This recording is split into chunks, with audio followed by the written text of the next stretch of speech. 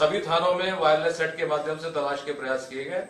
लेकिन जो अभी तक जानकारी से आया है कि बच्चे को बुलाने के बाद अभियुक्त द्वारा कुछ ही घंटों में उसके साथ ही घटना कर दी गई थी। पुलिस ने इसमें कार्रवाई, संपूर्ण कार्रवाई की है। अभियुक्त को भी गिरफ़्तार किया है और उसकी निशानदेही पे शव की बरामदगी हुई है।